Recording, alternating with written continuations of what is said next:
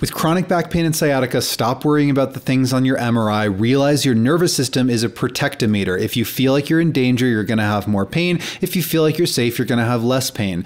So there's a lot that can determine safety versus danger. The things that you sense, like sounds at a dentist, versus the sounds that you hear in while you're getting a massage, or the things you do, like staying on the couch all day versus doing gentle movement. The things you say, telling yourself you have a bad back versus telling yourself you can heal. The things you think, like telling yourself pain is forever versus believing you can improve. The places you go, like a surgeon's office where they freak you out versus getting out into nature and getting a breath of fresh air, or the people in your life, like an out of date medical provider versus friends and family or people who make you feel heard and understood.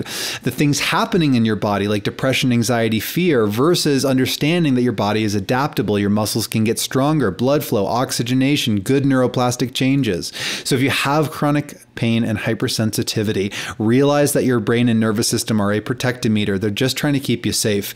And so if you don't feel safe, you're going to have more pain. So if you want to know how to actually improve this and get out of chronic pain, then we made an entire training, very practical training, and it's completely free. So comment masterclass and we will send you that training.